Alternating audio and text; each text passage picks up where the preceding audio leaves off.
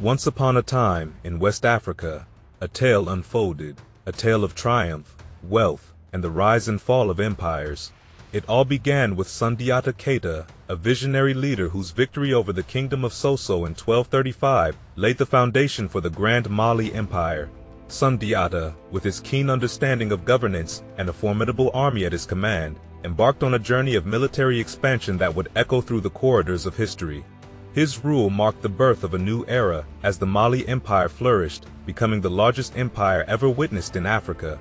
As time flowed like the Niger River through the Sudan region, the reign of Mansa Musa I brought the Mali Empire to unparalleled heights.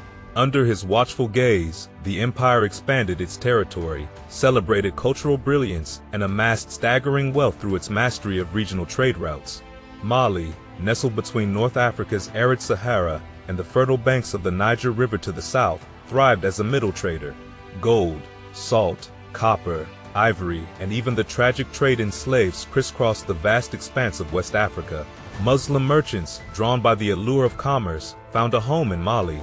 The rulers in turn embraced Islam, spreading its teachings through centers of learning like the renowned city of Timbuktu. Yet, amid the bustling cities of Niani, Djenné, and Gao, the heartbeat of Mali remained in its rural landscapes. The farmers, steadfast in their animist beliefs, cultivated the land, weaving traditions into the fabric of their lives. However, the echoes of Mali's greatness began to fade in the 1460s. Civil wars tore through the empire, new trade routes beckoned elsewhere, and the neighboring Songhai Empire rose to prominence. Despite the collapse, Mali retained a grip on a small part of the Western Empire into the 17th century, a testament to the enduring spirit of a once mighty realm.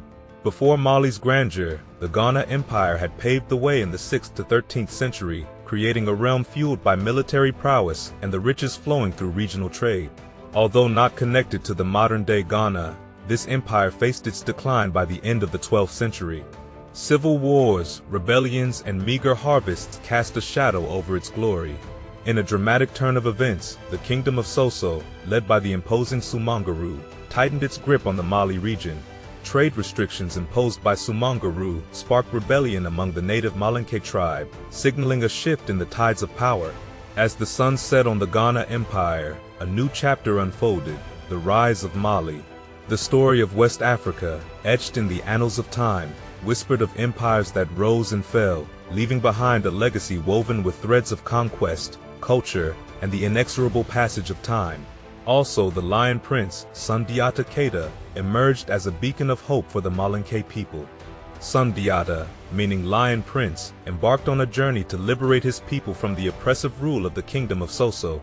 The 1230s witnessed the birth of a charismatic leader who would change the course of history.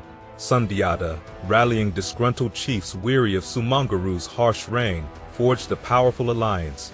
The stage was set for a decisive battle at Krina in 1235, a battle that echoed through the ages as Sundiata emerged victorious.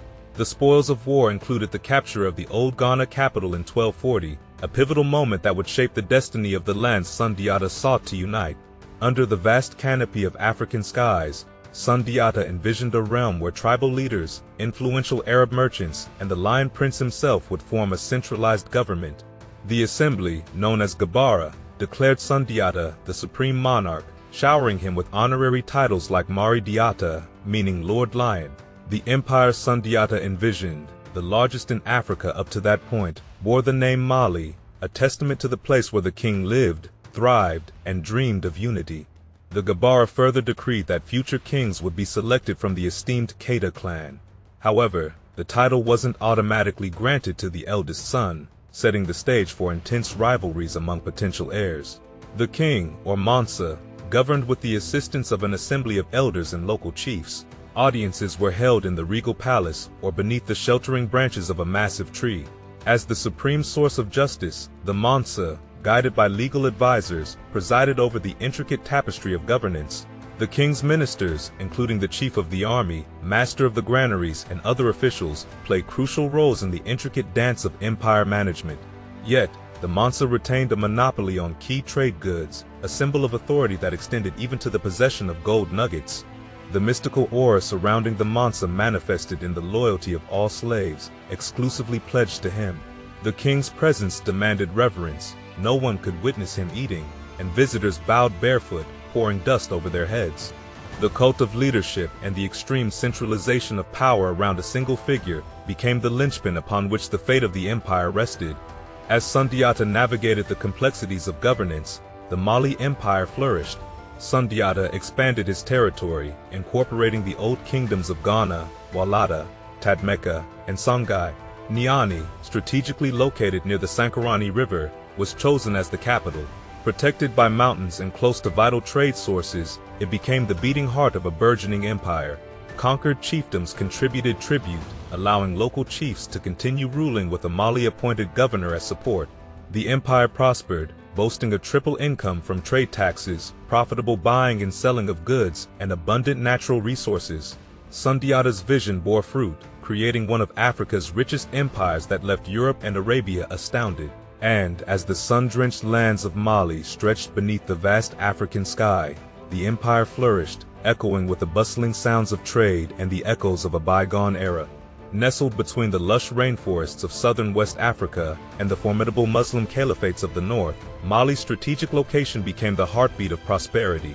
The Niger River, like a lifeline, provided a gateway to the heart of Africa and the Atlantic coast. Across the Sahara, camel caravans, under the watchful eyes of Berber nomads, brought treasures from the north. The Mali rulers reveled in a triple income. They levied taxes on trade, engaged in the profitable buying and selling of goods, and tapped into the rich veins of their natural resources. Gold, the heartbeat of Mali's wealth, flowed from the rich regions of Galam, Bambuk, and Beret. One jewel in the crown of Mali's trade dominance was the legendary city of Timbuktu. Rising from the sands and founded by the nomadic Tuaregs around 1100, Timbuktu stood as a semi-independent trade port, Positioned at the bend of the Niger River and the starting point for trans-Saharan caravans, it was destined to become one of Africa's most vital trade centers. Mali's rulers, casting their eyes upon Timbuktu's potential, soon monopolized the city. It transformed into a bustling cosmopolitan hub, where ivory, textiles, horses, glassware, weapons, sugar, cola nuts, cereals, spices, stone beads, crafts, and even human lives, traded as slaves, exchanged hands, the city became the heartbeat of commerce, where goods were bartered or exchanged for commodities like copper or gold ingots, salt, ivory, or even cowrie shells from distant Persia.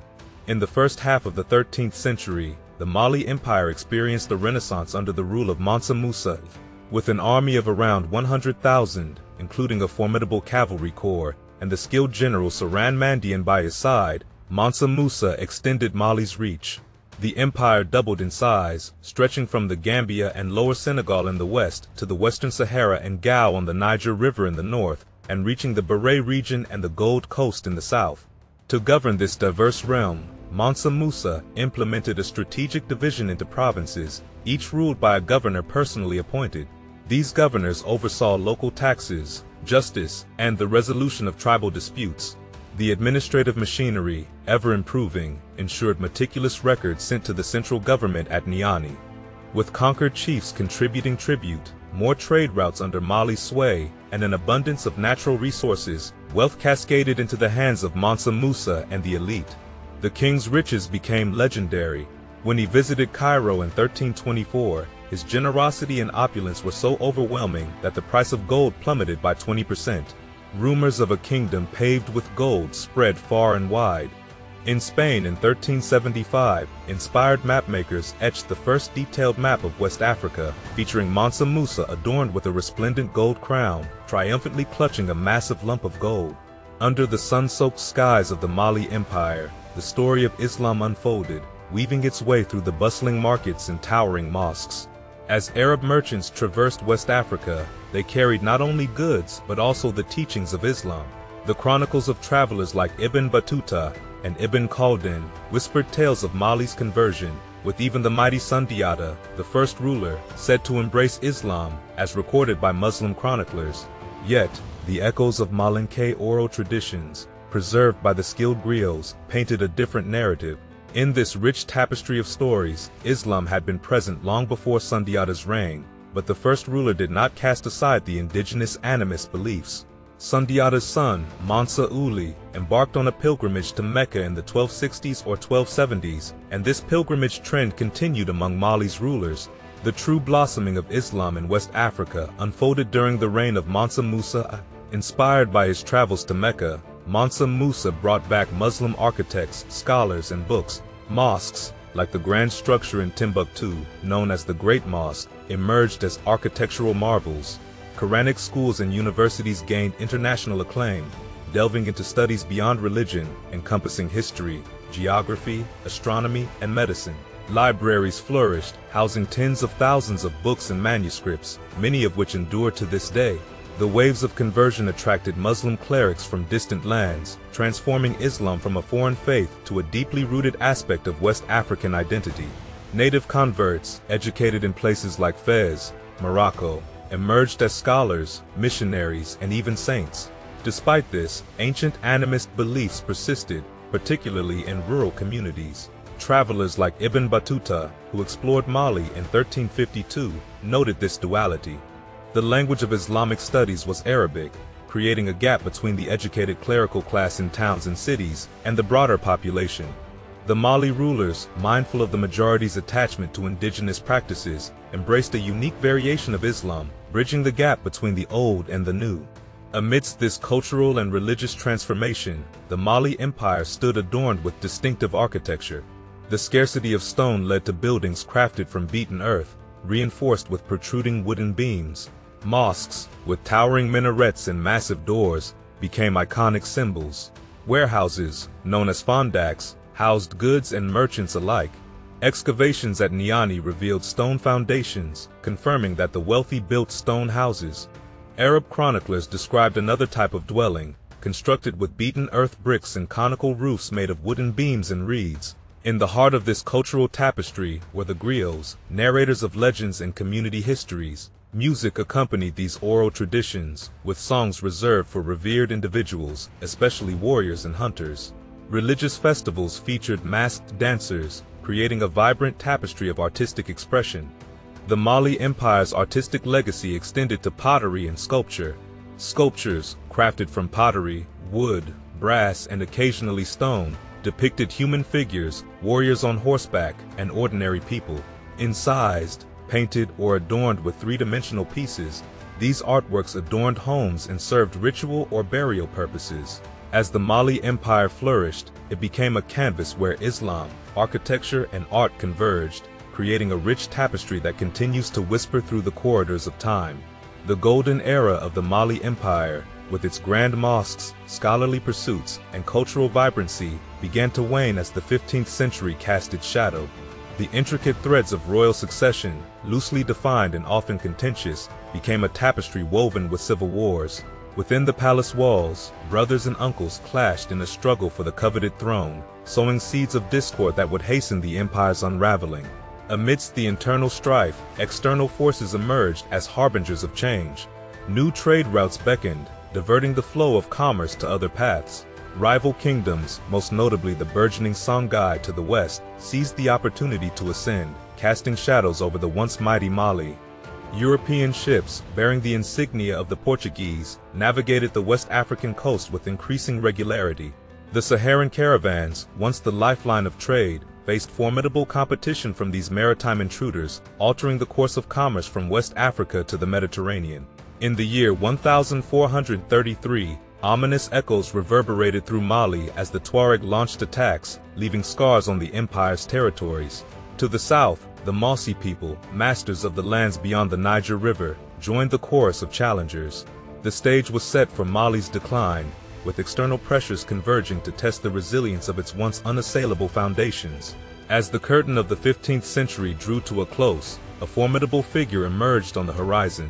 King Sunni Ali, sovereign of the rising Songhai Empire, cast a shadow over Mali's diminished realm.